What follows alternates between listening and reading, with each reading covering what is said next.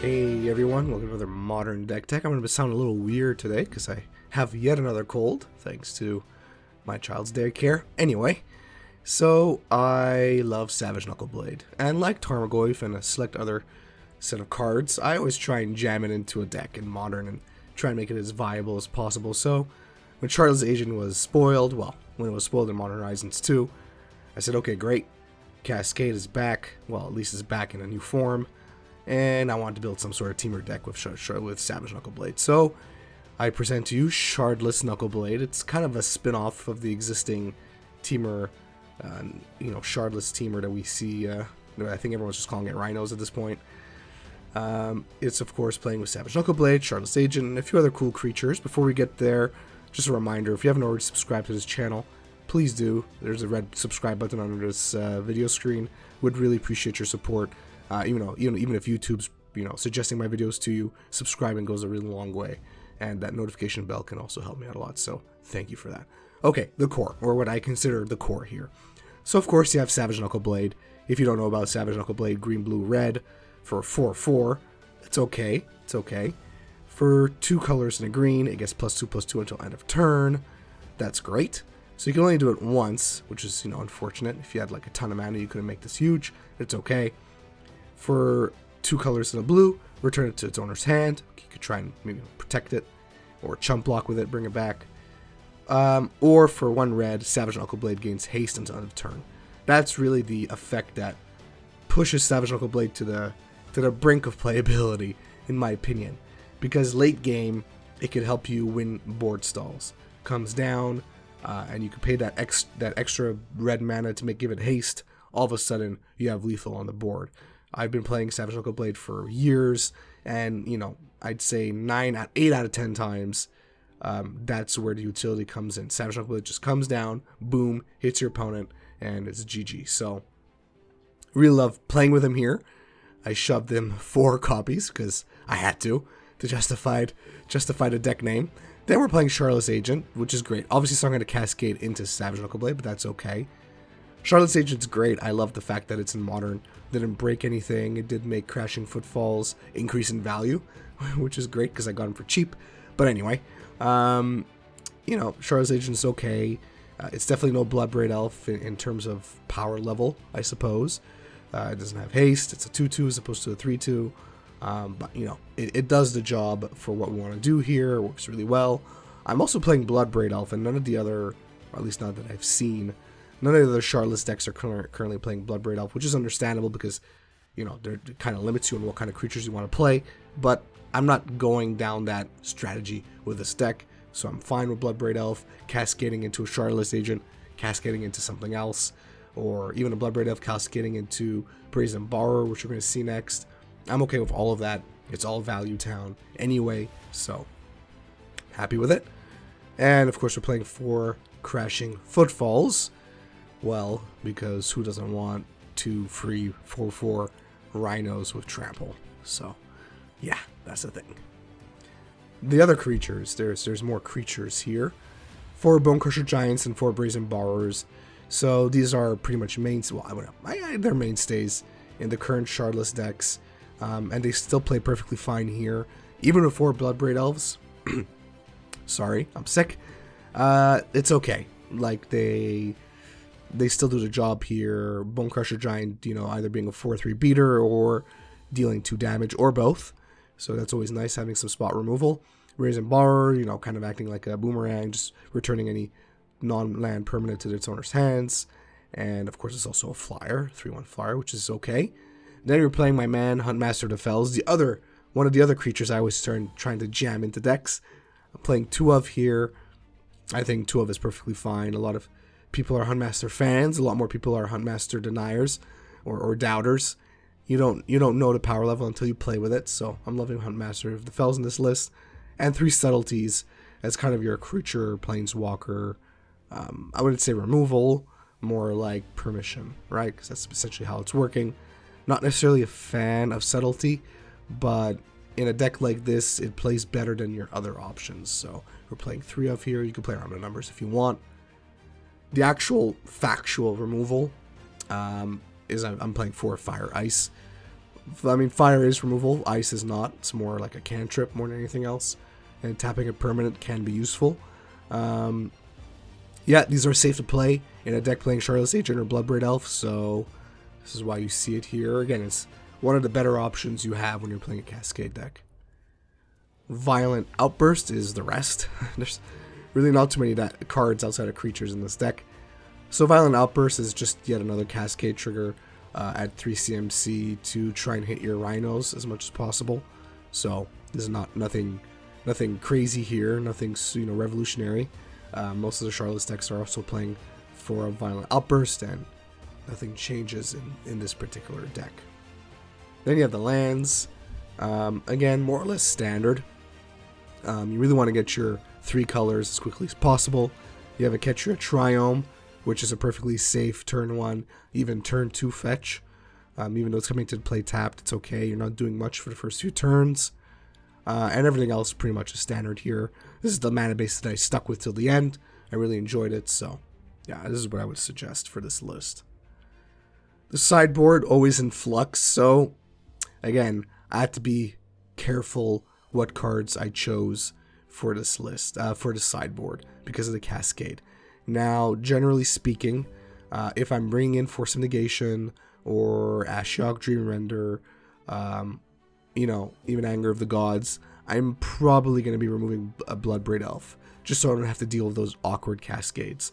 Mostly for Force of Negation. Force of Negation would be the worst one. Everything else, I mean, and Anger of the Gods, obviously. Everything else is okay. It's all cards that can hit the battlefield and then you can, you know, use them for whatever their abilities are. Alpine Moon as well, really good for hitting, um, you know, specific types of decks without hosing your own deck. Because even though we are playing three color Temur here, Blood Moon's not really an option. Um, Seal of Primordium to get rid of artifacts and enchantments. Again, if you cascade into this, not really big deal. Force negation, like I said, if you want to switch to a more permission style game two and game three, um, this is actually a pretty good option when you're playing against combo decks, for example. Um, Ashiok Dreamrender, of course, for graveyard strategies and combo decks as well. And Anger of the Gods, of course, for go wide strategies. Eh, and the matchups, again, apologize for the cold, um, but I push through no matter what, right? Um, combo. So again, you don't have many answers to combo in the main. You are a tad slow for the combo that we're seeing today. So you're going to be okay if the combo, you know, stutters a bit, or if you get some good removal early on, or some good bounce effects early on, or if it's some tap effects early on to slow down your combo opponent in game one, you could probably steal a win. If not, game two, your sideboard comes in, your Bloodbraid Elves will most likely come out. You don't really need them anyway. Force Negation will play a bigger role. Um, even Ashiok Dreamrender could play a bigger role because you're milling cards and then exiling them, getting rid of, you know, ideally getting rid of important pieces, uh, and your your matchup improves. But I wouldn't say this is a matchup you want to be playing with all the time because again, you don't have many options. Um, now, of course, if you didn't play Bloodbraid Elf, you could have just played more permission in the main, but I decided to have that package in the sideboard. And you can have a wider permission package in the sideboard as well if you feel you could, you know, you could handle the space. Aggro decks. Well, once your engine starts going, aggro decks will have an issue with you. The problem is if you, for whatever reason, keep a weak hand, you don't draw well, aggro decks will catch up uh, and will overtake you, and it's going to be very hard for you to come back. Um, but again, you do have big creatures that can come down as early as turn 3. Um, and once you do start getting the ball rolling, you just have big butts that your opponents are going to have issues dealing with. Um, but again, it, it, really depends. It's going to be a race. Games two and game three, you can bring in some removal in the sideboard to take care of the go wide strategies. Uh, but it's more or less going to be the same game plan, whether it's game one or game three. Control decks. So this is a tough one, especially because they have plenty of permission in the main, but they also have a lot of tools in the sideboard to deal with your rhinos. Luckily, I mean, unlike a lot of the other Shardless decks, you're not heavily relying on your crashing footfalls here. Savage Knuckle Blade can, you know, pull its weight. Huntmaster of the Fells can pull its weight. Well, pull its weight. Even Bloodbraid Elf can pull its weight. So, um, slightly less concerning if they bring in Chalice on zero. Um, you know, because you have other targets for your Cascade spells. not the biggest, you know, it's not the end of the world. Um, I think you could deal per- with permission or control decks pretty well. You just have to work around their counters. They're going to be hyper focused on you not getting your rhinos, and I think that's going to be to their detriment because again, you have other creatures that can just, you know, plow through them and give them a lot of trouble, and they're not going to be ready for it. So, um, yeah, ideally in game one, they don't even see Savage Knuckle Blade or Huntmaster or anything like that, uh, and they just see Shardless Agent, and then they they side incorrectly. That'll be even to your bigger benefit. Mid-range decks, so um, similar, I would say, to the aggro decks here. Now, mid-range decks are tad slower. Uh, which is going to be to your benefit. But again, you got to really hit your land drops. You got to really hit your you know your your creature spells, your cascade spells when you want to on curve. Um, if not, mid range is going to grind you out. But again, you have a lot of creatures here. It's not just 4 4 trampling rhinos that you need to win the game. Um, so you could do a lot better. Savage Knuckle Blade, believe it or not, is kind of a conundrum for a lot of the mid range decks. So I think you're okay. There's a lot of uh, you know, removal you can bring in from the sideboard, especially if you're playing Stoneblade decks. You might want to change your sideboard accordingly to deal with those type of decks, depending on your meta. So I, don't think mid-range decks are the worst in the world, but uh, yeah, I mean, I, I think you just got to play intelligently, and you could you could win most of those games. Big mana decks, Tron decks. Um, again, in the main, you don't have much to deal with what they're doing. You could bring in uh, removal from the side to deal. You, know, you could bring in Alpine Moon, for example, to turn off their Tron. Uh, you could bring in artifact removal, depending on the variant of Tron that you're playing. Subtlety will take care of their planeswalkers. Again, it's more or less a race, and I think you could pretty much win that race most of the time, give them a lot of trouble. But again, you got to be careful.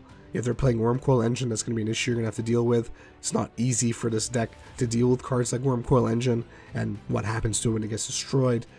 So, yeah, I wouldn't say it's your best matchup, but I think you can deal with it with enough practice with this deck. Last but not least, Borderline Magic.